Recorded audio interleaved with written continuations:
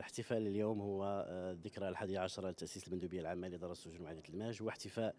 بالمندوبية العامة نعم واحتفاء بالموظفي وأطر المندوبية العامة لإدارة السجون الماج بكل رتبهم ودرجاتهم على الدور الجليل وعلى الخدمات الجليلة التي يسدونها لفائدة هذا الوطن وللأمن بصفة عامة وللسكنة السجنية بصفة خاصة على اعتبار أن هناك أدوار طلائعية وأدوار كبيرة وجسيمة يقوم بها الموظفون أو موظفو المؤسسات السجنية بهدف أولا برمجة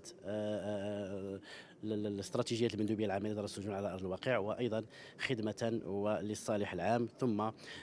بهدف إدماج وإصلاح الساكنة السجنية. وهذا اليوم هو تتويج لكل موظف وكل موظفة تعمل بهذا القطاع لأنه لا يستقيم أي عمل دون تحفيز وتثمين المورد البشري العامل به. لي وكانت قاسم الفرحة ديالي مع مع الزملاء ديالي في العمل.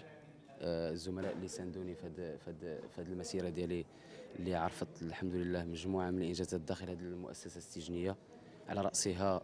المؤسسة تغيرت الأفضل من الناحيه الإدماجية من ناحية التغذية من ناحية الانضباط وزرع الأخلاق في في في, في النزلاء. وكنشكر بكل صراحة ومن القلب الخالص السيد مدير المؤسسة الدكتور السي خالد بن تركي اللي ساندني حتى هو عن طريق التوجيهات وكذلك رئيس مصلحه الأمن والانضباط السي أنوار السي هشام أنوار ومجموعة من الزملاء والزميلات في العمل